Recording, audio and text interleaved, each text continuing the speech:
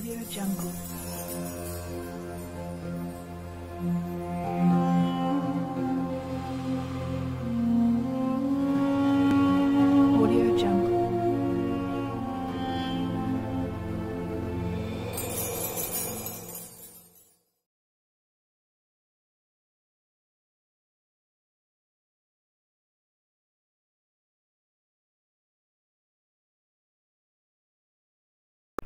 啊呜！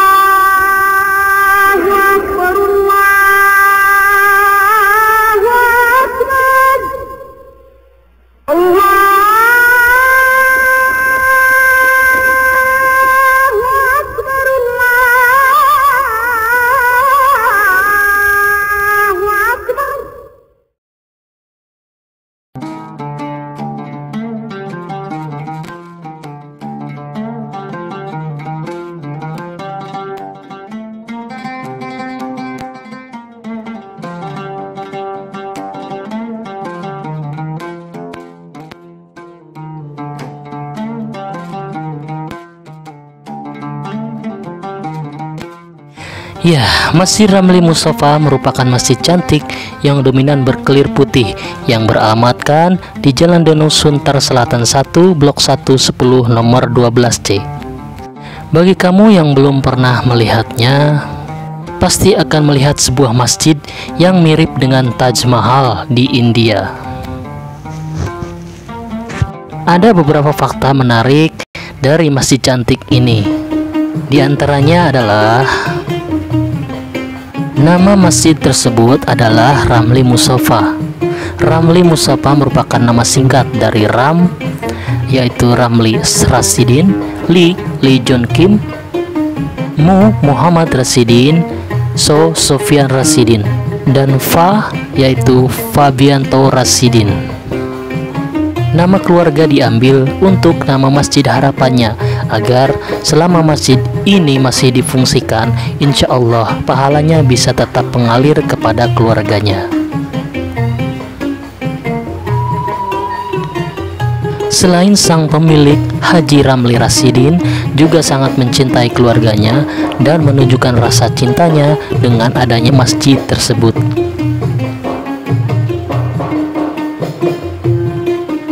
Bangunan masjid ini terdiri dari tiga lantai. Lantai dasar diperuntukkan untuk tempat sholat wanita dan ijab kabul.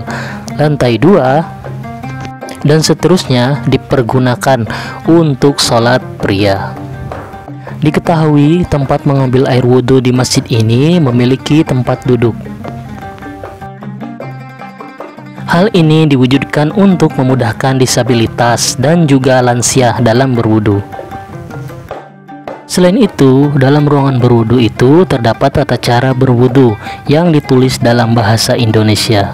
Mengenal hal tersebut dimaknai untuk memudahkan seseorang yang baru memeluk Islam atau mu'alaf menjalankan kewajibannya jika belum fasih menggunakan bahasa Arab. Maka dari itu, di dindingnya ditulis doa sebelum dan sesudah wudhu serta tata cara berwudhu. Pada bagian depan masjid terdapat surat Al-Fatihah yang diukir dari kanan dan kiri dinding tangga. Tersalat tiga bahasa yang digunakan di sana, yakni Arab, Indonesia, dan Mandarin. Tujuannya untuk mempermudah mu'alaf dan wisatawan asing yang berasal dari Tionghoa yang ingin berkunjung ke Masjid Ramli Mustafa. Haji Ramli Rasidin merupakan seorang mu'alaf yang juga keturunan dari Aceh. Saat usianya 19 tahun, Haji Ramli memutuskan untuk memeluk agama Islam. Dan sebagai bukti cintanya kepada Allah Subhanahu wa taala, dibangunnya Masjid Ramli Musafa. Wujud cintanya pada keluarga juga ditunjukkan pada penamaan masjid yang berasal dari potongan atau penggalan nama anggota keluarga.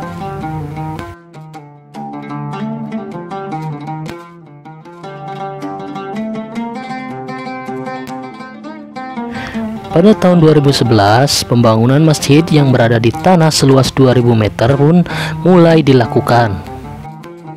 Kemudian masjid selesai dibangun di tahun 2016.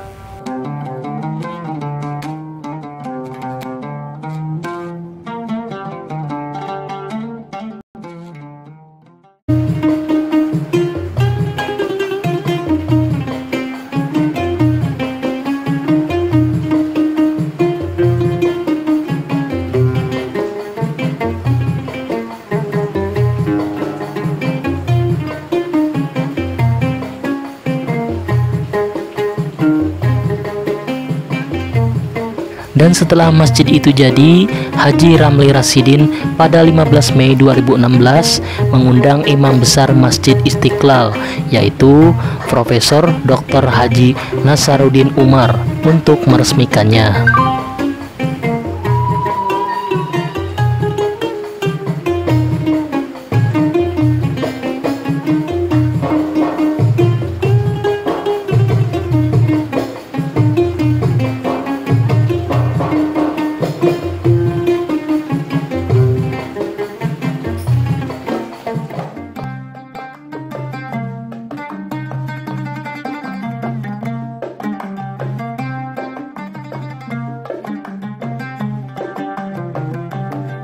Terima kasih yang sudah mampir di channel saya.